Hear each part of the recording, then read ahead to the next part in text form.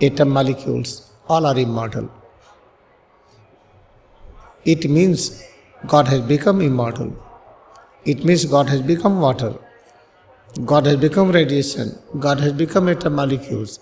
Logically, it is proved. We have discovered it because we have put our concentration, attention on atom, on water, therefore we got it. But there is no traditional education how to put concentration on self to know what happens about this. When we see one by one we disappear, then what happens? There is no education. This is what Kriya Yoga meditation you are learning. Keep on practicing it slowly, slowly you will know. Disappearance mechanism, how this head to toe starts disappearing. Then reincarnation mechanism,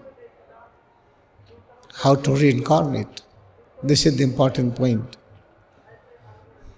Therefore, this Kriya Yoga meditation is called very important education because it removes the fear of death and it brings realization, the science of departure and incarnation.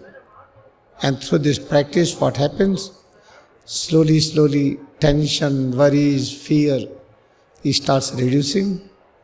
And one day we realize we are one with God. Let us bow down to our deep devotion we have in Kriya Yoga meditation